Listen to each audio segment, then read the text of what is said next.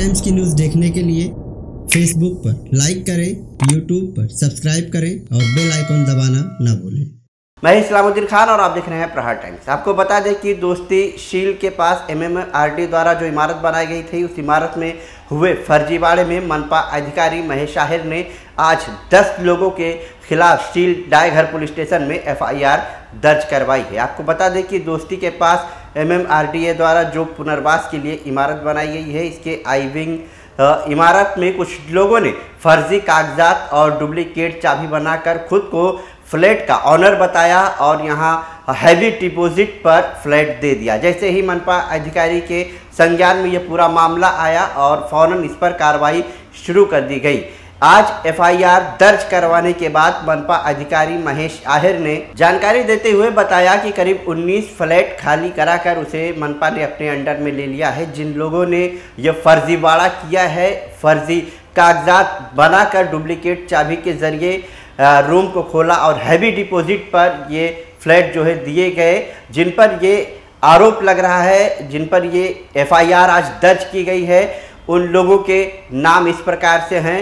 विजय Ramesh Chauhan, Sunil Hari Prasad Raibole, Khalid Shaikh, Farhat Shaikh, Vijay Hiralal Jaiswal, फैमिना Azad Sheikh, M M Ansari, Mohammad Nadir Shakeel Ahmad मुफसर Hussain, Shoaib Mohammad Ansari शामिल हैं। इन लोगों पर आज महेश आहिर ने शीलडाई घर पुलिस स्टेशन में और एमएमआरडीए में जो फर्जीवाड़ा हुआ है, उसका आरोप लगाते हुए एफआईआर दर्ज करवाई है।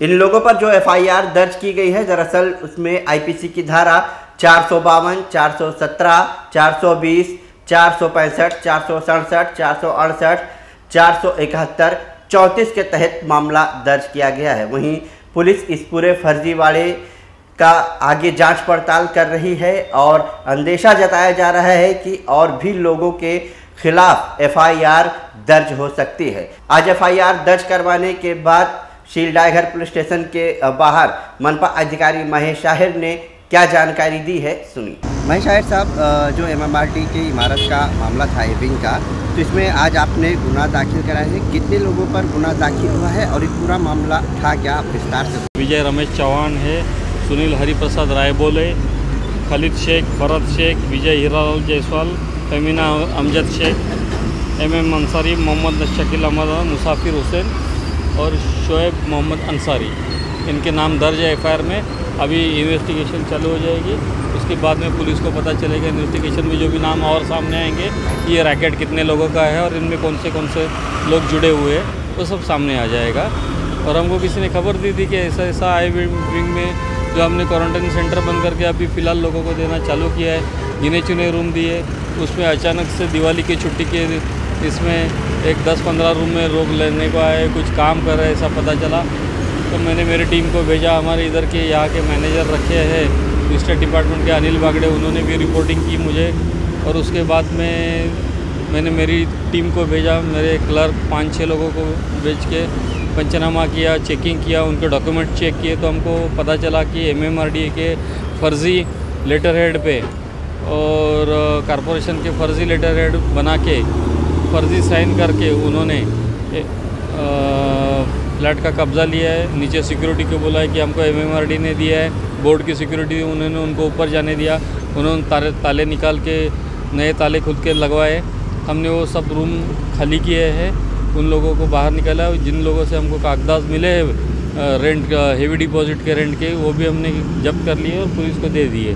अभी आगे की तफ्तीश पुलिस करेगी और उसमें ये जो मामले दर्ज किए गए हैं तो ये किन लोगों पे जो रूम में रह रहे थे उन लोगों नहीं नहीं उनके ऊपर नहीं है। वो तो विटनेस रहेंगे लेकिन उनके पास जो एग्रीमेंट मिले और उन्होंने जो नाम दिए हमको कि उन्होंने किसको हेवी डिपॉजिट के पैसे दिए और जिन लोगों ने वो एग्रीमेंट किए एज अ ओनर करके जो फर्जी है उनके नाम हमने दिए। अभी एक से एक कड़ी जुड़ती जाएगी और सब सामने आ जाएगा। कितने लोग थे साहब जो है इस तरह से उन्नीस रूम हमने चेक किए थे। उन्नीस रूम हमने ताबे में ले लिए कारपोरेशन के जो अफेक्टेड पर्सन के लिए एम ने हैंड ओवर किए थे कारपोरेशन को।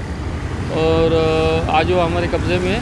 लेकिन ये जो फ्रॉड किया है आगे चल के कोई ऐसा वाक़ दोबारा ना हो इसलिए हमने एफआईआर कर दिया है। धारा क्या लगी कुछ पता एफ़ इसमें धारा है आईपीसी 452 417 420 465 467 468 471 और 31 34 कितने लोग हैं टोटल मतलब जो फर्जी दस्तावेज़ बनाकर दस। हमारे एफआईआर में दस है।